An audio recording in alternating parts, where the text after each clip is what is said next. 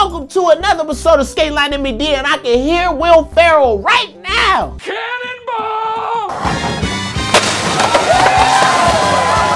Oh, so guy, Mr. Mariano, you got time to watch the solar eclipse, but you don't give me clips? I blame Koston.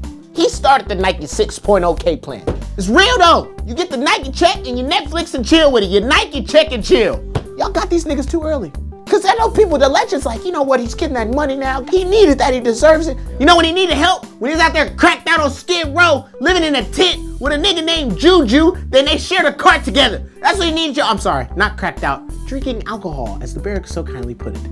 Not when you was on the car, bringing up new tricks every week. You were in a private skate park, you were fine. And then they came and ruined it. They just ruined the fun. Skateboarding got so much that only brains like that can deliver. And when you fucking get these niggas this money, they disappear. This week's Damn Nick, when the first response team is a little late because they gotta respond to a tray flip first, go to Carl Rushford, who was in no rush at all. Man, we got here as soon as we could. No, you didn't, Carl. Her house was on the ground, Carl. Nailed that. Shane O'Neill flies to China to get a tune-up, but forgets that they make robots in Japan.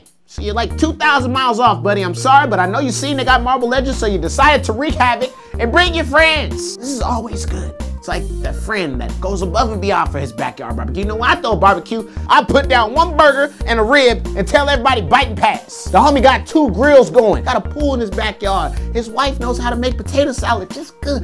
Motherfucker, that Shane O'Neill right there. Better realize when the part is so good, you didn't realize you was watching a man only kickflip, ollie, and lip slide for four minutes. Seimi Miyahara boy, what? He extended the swag. You're like, bitch, you gonna take what I got for you. It's not the side, it's the motion of the ocean. Are you in the Atlantic with it? Somebody has to inform the guys at Crailtap that Spike Jonze has left the building he's never coming back. And they should not film skits. Just skate. Right? That was just, that was, this just in. That. Y'all seen Nyjah's post from the other day? This is the greatest trailer I've ever seen in my life, and it's just a photograph. What trick was it? Why are your shoes off? You back 5 to 35 for something that nobody wanted to pay to see. It's easy for that man.